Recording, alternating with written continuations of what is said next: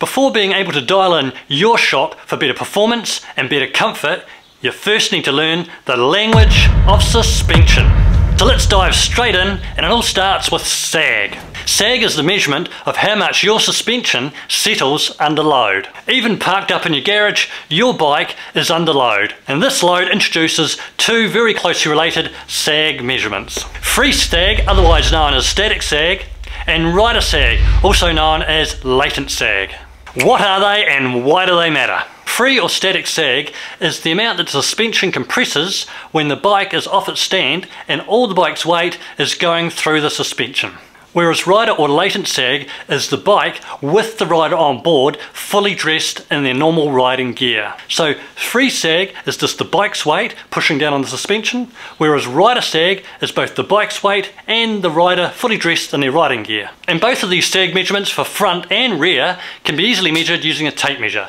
But let's just stick with the basic terminology for now. So now that we understand sag, let's move on to spring rate. Spring rate actually refers directly to the spring's stiffness. Spring rate is at the core of forks and shocks and isolates your body from shocks transmitted up through the bike from the road and keeping the tyre contact patch on the road responding really quickly to road irregularities. Spring rate is what we effectively loosely refer to as a spring stiffness. So you can think of spring rate as stiffness. This is why it's really important to have the right spring rate for your body weight range and the types of rides you ride on, not to mention your particular riding style. There's no need for you to do any arithmetic, you just need to provide your suspension tuner with that information and they'll ensure you get the right type of spring for your style of riding and your body weight.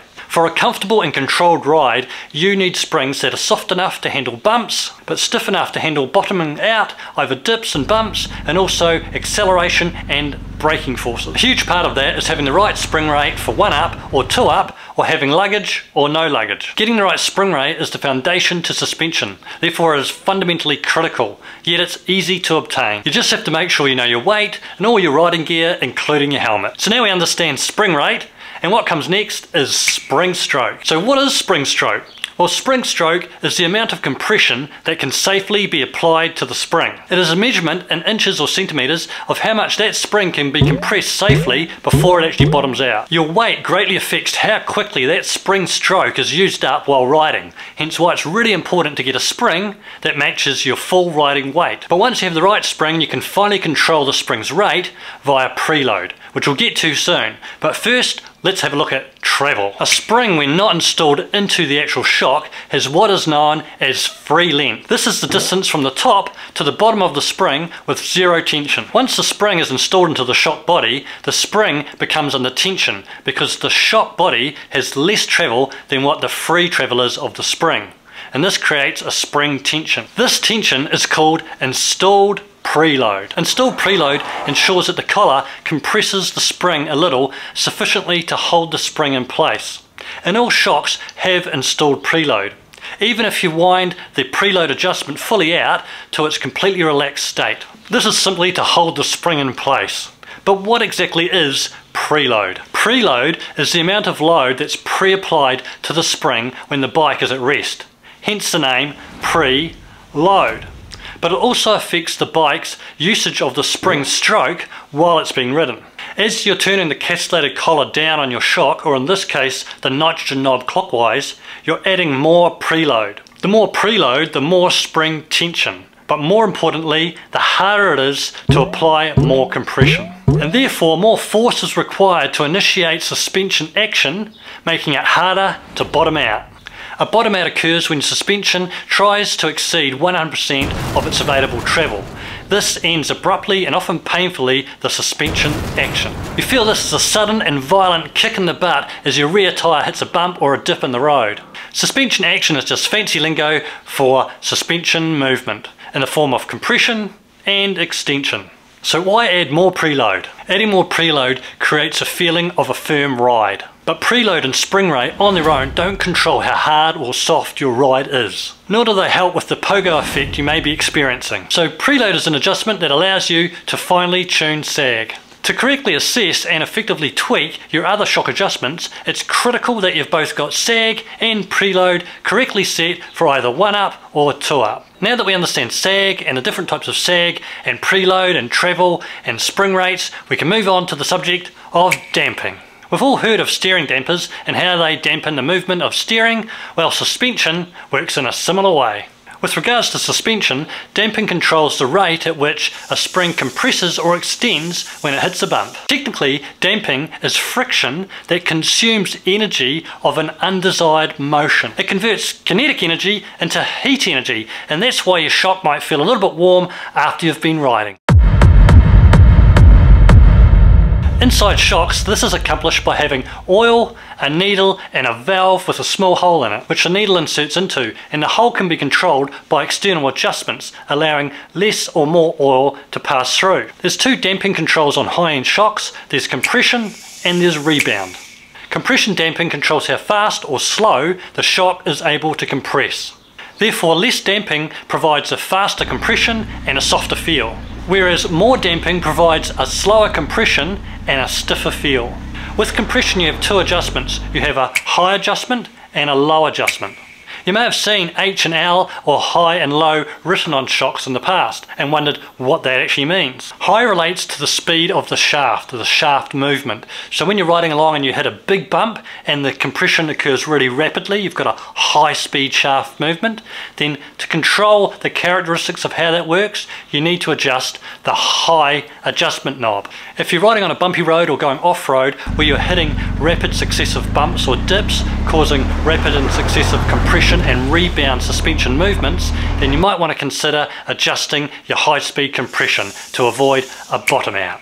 But if you're going off-road for example and you're slowly working your way through some rough terrain, some rocks and stuff, but you're not going that quickly, you might want to soften that suspension up by winding off your high compression. On the other hand, you have your low compression adjuster, and this allows you to handle what your compression should be like when you're traveling across relatively normal roads. For example, just a normal street where there aren't big dips and bumps and there's no rocks, where the actual suspension movement is relatively linear.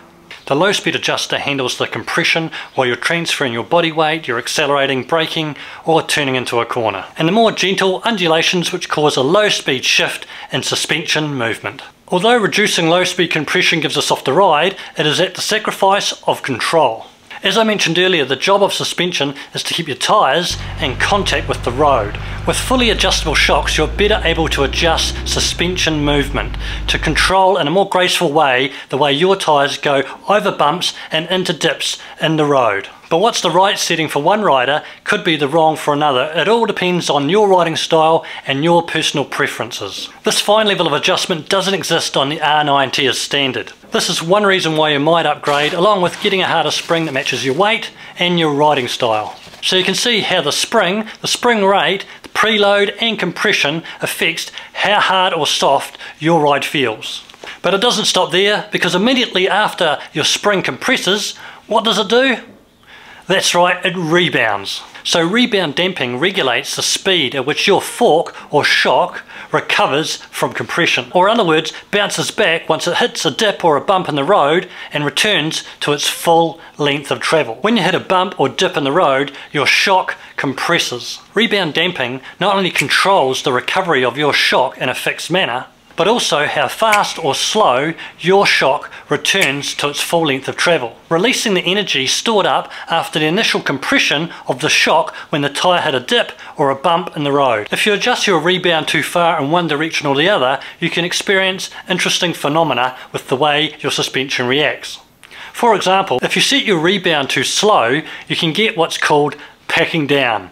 And this will be a harsh, bumpy ride with poor traction and also poor control as the rear wheel hits bumps in the road, which you can fix by speeding up your rebound. Doing this will ensure that your bike's wheels are ready for the next impact, ensuring that your tyres stay in contact with the road. On the other hand, if you make your rebound too fast, you're going to get the famous pogo effect, in which case you want to slow down your rebound. Rebound also has a direct effect on your ride height, which also has an indirect on your steering characteristics because it puts the bike more up onto its nose. So you can see how all four variables, spring rate, preload, compression, rebound, culminate to affect how hard or soft your ride feels.